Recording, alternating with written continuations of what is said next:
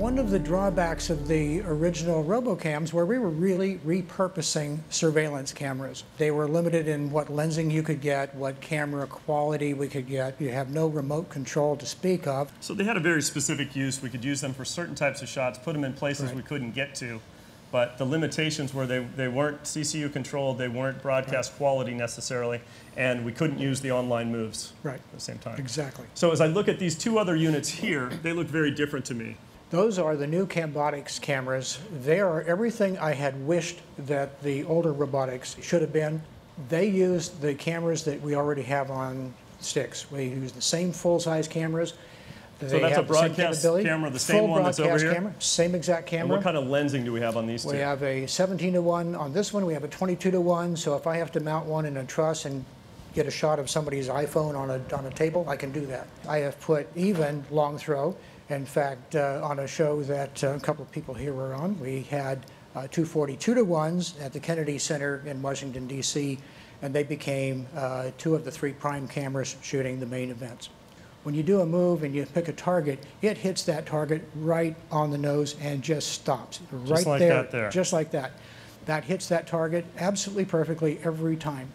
It is accurate on a typical podium shot down to an eighth of an inch, and that's amazing. You can drive how many cameras from one operator? Typically, if we have a show where we're expecting cameramen to keep looking for good shots, each one gets one controller, one camera. If I have uh, some predictability to what we're doing, one can be on a uh, preset, which is an extremely small move and just float like you would float a jib. So it's there.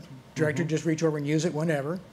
And the other one is going to be taking presets and live moves and follow the action. There's one other technology about cameras that we're excited about Mm-hmm. that we want to talk about today, and that's the tower cam. So what do we what do we have there with tower cam? Tower cam is useful when we can't get a jib in a room because the fire marshal or because the front projection cones get in the way. This is two foot by two foot floor space. It can uh, raise up a, a range of 10 feet. We can put the same robotic head on that tower cam. We can control both movements from the same preset. So we can do coordinated movements that go vertical. The minute we move like a jib, you've got depth in the picture and it really so we're seeing great. some examples of that here. You put the robotic head on something that actually has the right. elevation up and down, and then even on a dolly or something to get some more dynamic moves. You can also invert it and attach it to truss. You can even have a dolly track on the truss, and then you can drop it into the shot, move it, and drop it back out. Excellent. Carl, thank you very much for sharing that with us. Thank you. Appreciate it.